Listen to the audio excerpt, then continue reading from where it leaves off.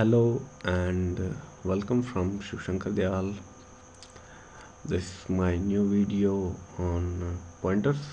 This will be the second part, I guess. Okay. So, I remember sometime I told you people about uh, limits of system. Uh, see, stack size is 8192 kilobytes so if we do the calculation 8192 multiplied by 1024 is this much. And uh, one integer takes 4 so we can have so many integers. Now of course some of stack will be used by other components of the system or the program. So let's say in this program which is my pointers2.c uh, I have allocated these many integers. By the way before we go further let me say that this video is recorded at 72p resolution. So if you want to see it uh, in a beautiful way then please view on YouTube at 720p okay. So we have so many integers in int a and then I did something. Really doesn't matter we'll see about that later. So I say pointers 2 it is up to date. Let's go and run this. Runs fine. Okay. So now let us push this limit a bit up. Now this is certainly beyond our stack limit. So we compile this again and run this segmentation fault. It was expected. So how do you allocate more than 8 MB the trick is to use heap. Now I have got like 8 GB on this system but even then my uh, operating system is only 32 bit so I cannot allocate more than 4 gigs to a process. Also all the memory which I want to allocate should be available in continuous fashion. Because when you ask uh, malloc to give you a chunk of memory it will give you all at one go. So let's see how much is free. So this much is being used and I don't know which place is where so I really can't say but I have got like 6 gigs free. So how much am I trying to allocate? 1 2 3 4 5 6 7 8 so roughly 1.2 gigs. Now let's see if this works. 1.2 gigs can we allocate?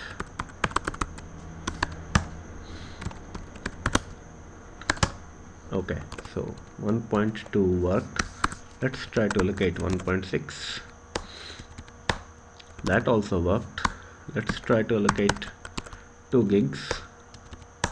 Okay I can allocate even 2 gigs that is approximately not really 2 gigs. Let's try 2 2.4 also I could. Let's try 3.6 okay. So segmentation fault. Now this malloc didn't work.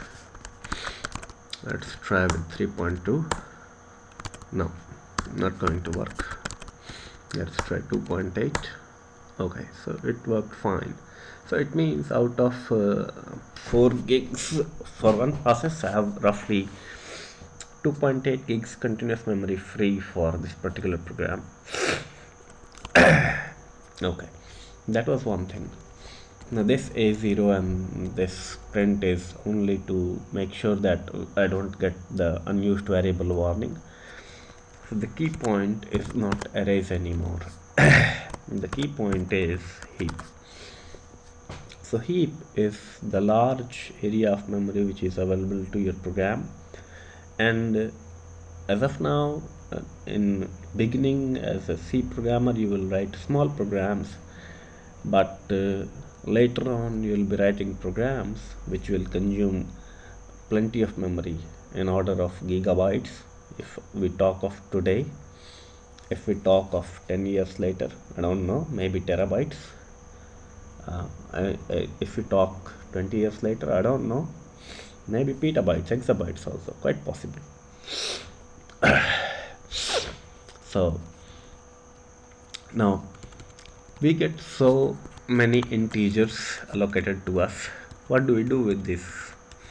So we assign values to those because malloc will not put any value in this whatever value will be there originally that will be hold on this. So if you don't assign a value the original value is meaningless to this program. So star p will have some old value. So we overwrite that. We say 4 now we can also assign using array technique that is p1 is equal to 5 okay.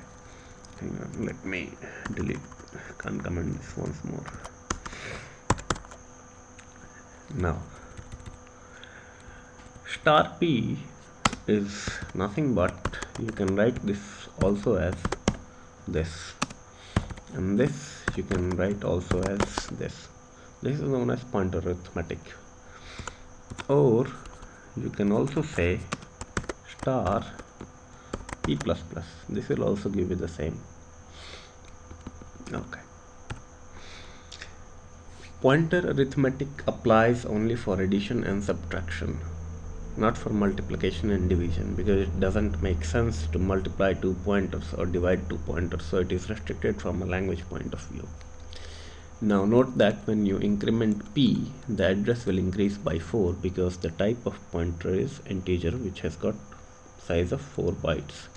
So it will increment by those many bytes by the type of pointer. So if your type of pointer occupies n byte, one increment or addition of 1 will change the address by n bytes. So if you add it will go plus n, if you subtract it will go minus n. Okay. I'm terribly sorry eh, because I'm suffering from cold. Now there is one more difference between A and P. Now this allocation is known at compile time so if you apply size of A it will report you correct value of whatever 2 million 2 billion you give here. But in case of a pointer this value is not known at compile time this is actually known at runtime.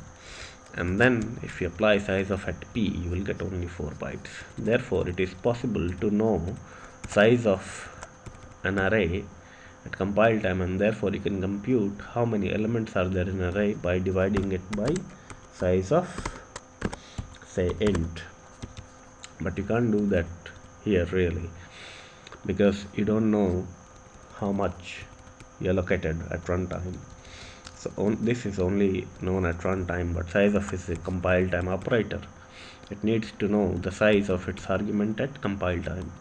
Now since this is not known it is not possible how many elements or how many ends did we allocate okay.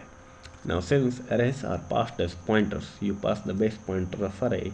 So if you have a function say in this case malloc is a function. So similarly if you write a user defined function then the receiving function does not know the length of that particular array. So you need to pass the length of array also. If it's a string which is zero terminated then it's entirely different matter because you can call strlen and then get the length of string but if it's an int pointer you are supposed to pass the length of array also if you want to involve operations which depend on length of that array.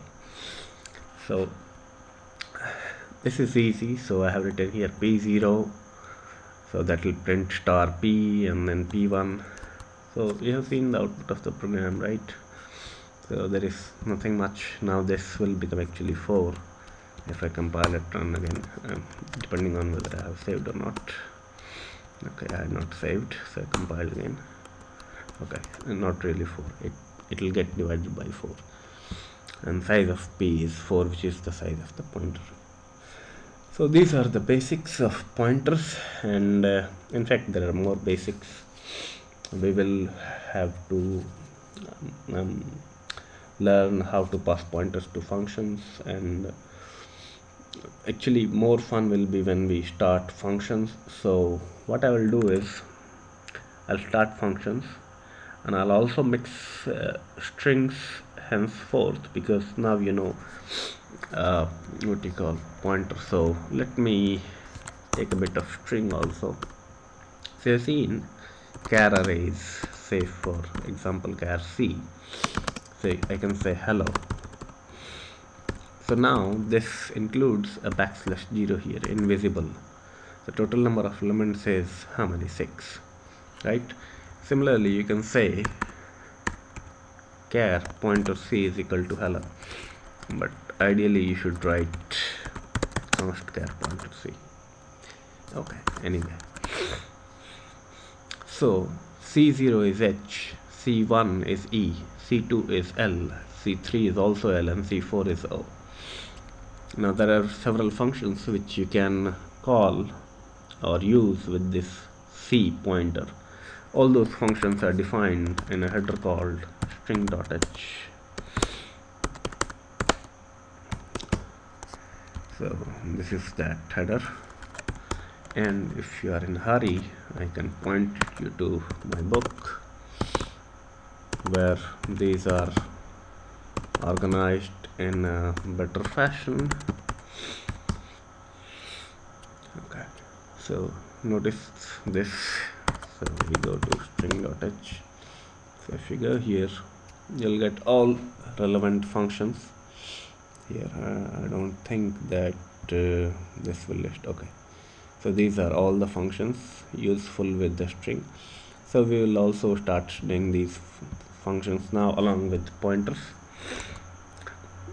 it's right now it's just a copy of specification which also will get updated as I proceed with C11 this video is now getting longer so I'll cut it short. In my next video I'll start mixing stuff uh, like functions and strings along with pointers. Please wait for my next video. Happy programming and keep programming. That is the very key point of programming. If you don't program you won't get better Thanks.